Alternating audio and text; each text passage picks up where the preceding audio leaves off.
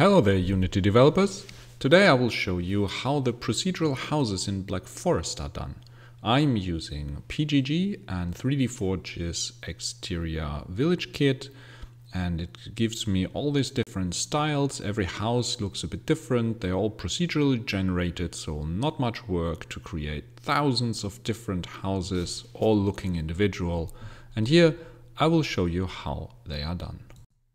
First of all, you need to get the procedural generation grid from the Unity Asset Store, which is the tool that allows all the procedural generation and placement of the prefabs that we will be using.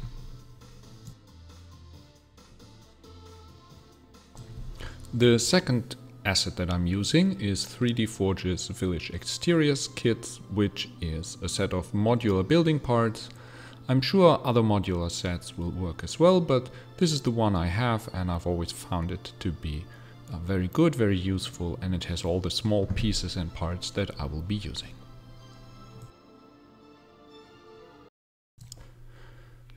Using my small hut as the example, here's how everything is set up.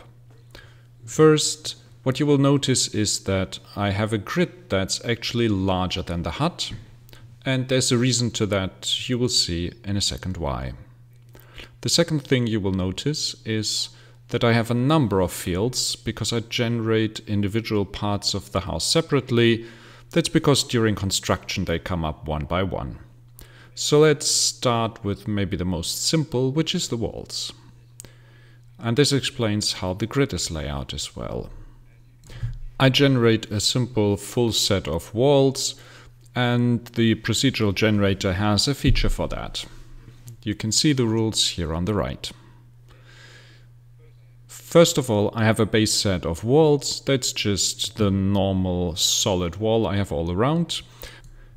And then I have a spawner for windows, which has a limited spawn count. So I don't have only windows all around. And it also removes the wall wherever I spawn a window because the 3D Forge prefabs have a combination of wall and window. If you have detached windows without walls, of course you just add them. And the next is that I spawn an entrance. And the entrance is basically done with the same spawning rules as you can see here. And they are all basically the same. I will explain in a moment. And after the entrance, I spawn a door at the entrance position. I'm using here the tag feature of uh, PGG, which can add tags to a cell. And that's how a lot of this actually works. So when I spawn a wall, I set the tag of the cell to wall. And that tells the generator that there's a wall in this cell. And then I can spawn windows. So this has a random selection of the of the window pieces that I have so that I get a nice mix of different windows here. And then I will spawn this in a random location wherever there's a wall. And the entrance works the same way and then I have the basic layouts of the whole thing done. And then I can spawn a door and say wherever the tag door is set, which is set in the entrance spawner, then I know that there's the door here, there's only one entrance door, I have a limited spawning count. I could set two maybe if I wanted, two entrance or randomly between one and two, but in my houses always have one entrance. So I spawn exactly one entrance, the cell gets the tag door, and then I can simply spawn the door in the cell that contains the tag door, and it will always be in the right location. And then I also do nice things like spawning window lights, which turn on at night. It's a prefab I made with a light and a small script that turns them on and off at night. And I can just spawn them wherever the cell contains the tag window. So I know that there's a window here, and I just position them correctly so that they are nicely in front of the window. And I also spawn an entrance area, which is an invisible prefab I'm using, but this one tells the NPC pathfinders that this is where the exit and entrance to this house is. So you can also do things that feed into the gameplay of your game. And that's basically it. It's very simple. Now, the interesting part is here in how I spawn the base walls. I'm using a built-in feature of PGG called the wall placer and I spawn walls here, here, here, here, here, here, and here, there, well, all around basically. And the wall placer module simply moves them to the edge of the grid. And I spawn them on these cells for two reasons. The first is this way I have exactly one wall in each cell. If I spawned them on the outside of a house, as you would think at first, if I spawned them, you know, all around the center, because that's what I need, I would have two walls in this place. The cell would have two walls. PGG can do that, but then it becomes difficult to understand what this cell is. For example, in this generator, the door spawned here in the corner. So this cell would have the tag door, but I wouldn't know if the door is to this side or to this side. So that's why I spawn the door here. And that way I know the door is here and not there. And that's a simple trick to make your life easier. And in the next field I have a frame. The frame is a very simple spawner. I have one of these two frames, the which is randomly picked. They are contained in my prefab set and I spawn one of them and then I just move it correctly so that's in the center because I'm spawning it in ordered mode so it spawns in 0 0 there's only one. And then I just move it to the center of my building. There might be another way to do it but this one works well for me and then I go and add some more decoration. So in this field I have a chimney.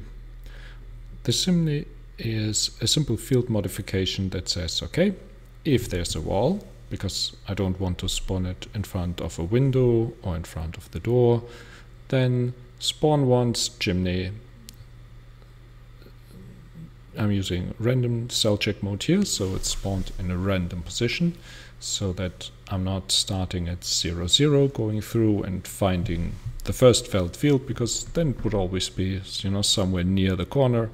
I go randomly through the cells and the first cell that matches gets the chimney and the chimney has its own tag.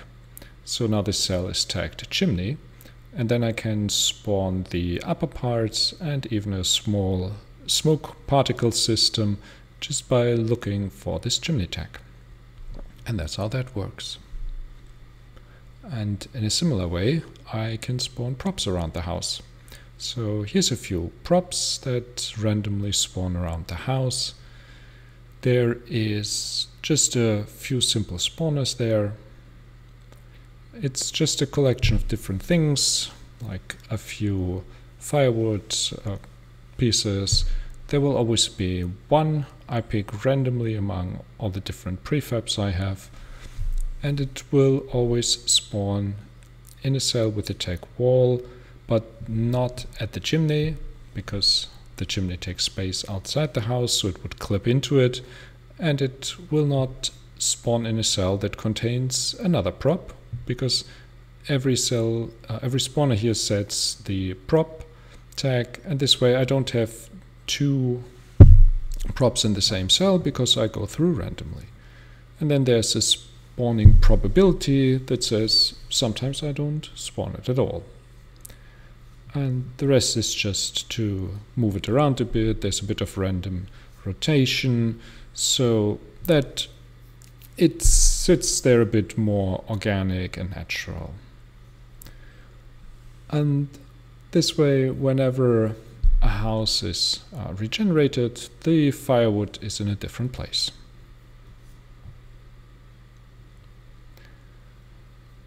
And I then I do the same with uh, some containers, so some boxes and barrels, you know, something like that. And again, they have a probability, so sometimes they spawn and sometimes they don't. And then I have some furniture where I'm a bit uh, more intelligent.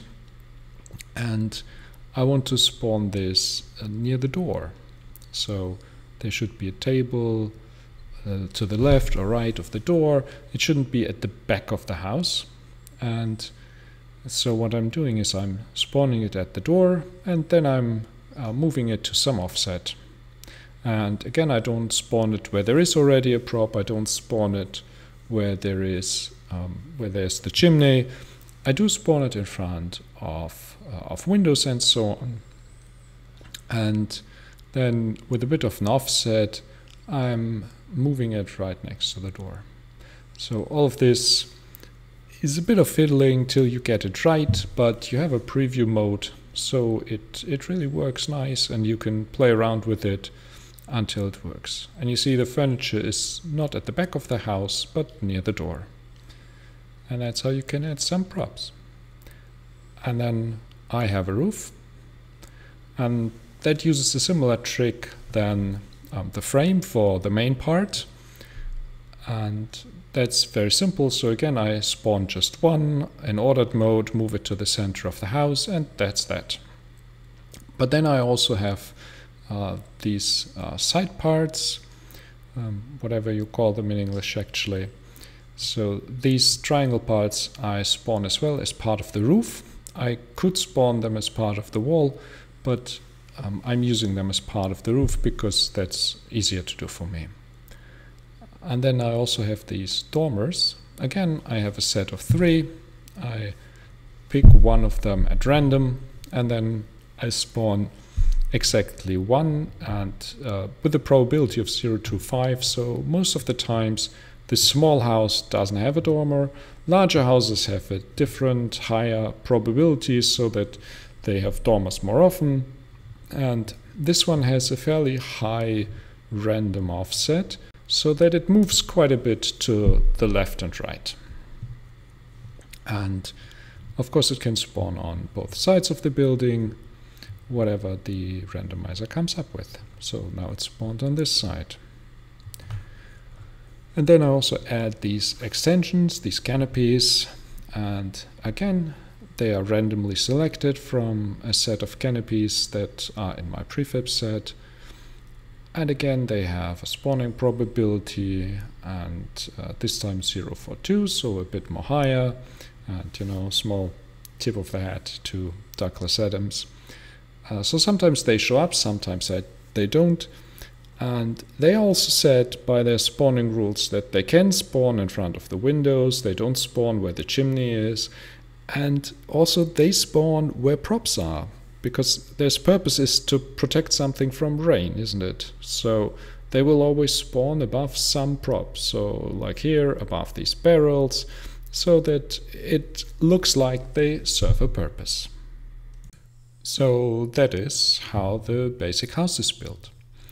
But in my game Black Forest, houses are constructed and they can be damaged and they can be destroyed. So I need a bit more than just that. What I'm doing is, uh, again, doing that with PGG, and so I have a few more modifiers here. This is the ghost arrow. This is just for the ghost mode. So when you're placing houses, it indicates where the entrance is because it's when you're in ghost mode, it's shown in this uh, transparent green material and it can be difficult to see where the door is. So I added this arrow and and that's all. It's very simple. I know where my door is, so I just check for this tag. And then I move the prefab into a good position and rotation so that it shows to the door and it's that simple. And this is in a different field so that I can turn it on and off when I'm entering or exiting ghost mode. And the same is true for this construction props. So let me turn off these others so you can see it more clearly. When a building is under construction, you see there's a number of construction materials and tools scattered around the house and uh, they are only visible while the house is being built and that's why I have them in a separate container so I can toggle them on and off. And this is again just a simple field modifier with just a couple random props and uh, random spawning. And and there's uh, a neighbor cell check here, which says uh, spawn them at the outer edges of the grid. It doesn't spawn inside the house. It only spawns when one of the neighbor cells is outside of the grid. And that's how you get uh, a simple selector for things that are on the edge of the grid. And uh, a couple more rules, like I don't uh, spawn them where uh, props are, where the chimney is, because during construction they will appear and would clip into these things. And I also spawn invisible work spots, which is where the NPCs building the house will move and have this little building animation. So again, I simply have an empty prefab there. I check where are my walls, windows and doors. I don't put it at the chimney again for a clipping issue. And uh, here for this I have a fixed count because there's a fixed number of workers. Um, so I ensure that I have the exact number of work spots that I want. And as you can see, you can add not just visuals, but also game logic with, uh, with the PGG uh, to your procedurally generated houses. Right, so on to the next.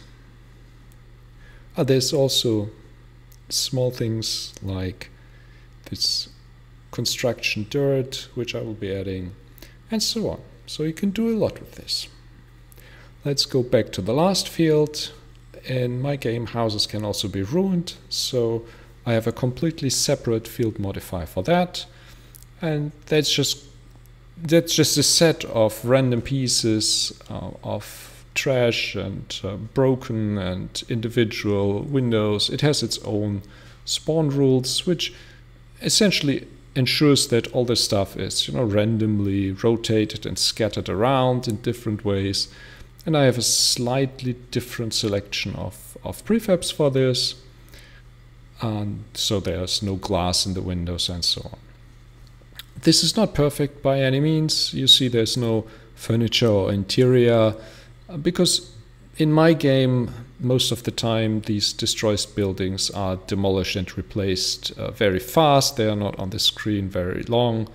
So uh, I've opted to not make it too difficult, uh, to not clutter up the view. But anyway, there's more that you could do if you wanted to to make it even more convincing. And here I just put some random pieces of uh, floor and wall and uh, you know broken doors and so on. So it all looks a bit broken and thrown around. And that's how the procedural houses in Black Forest are done and how you can do it in your own game. Thank you.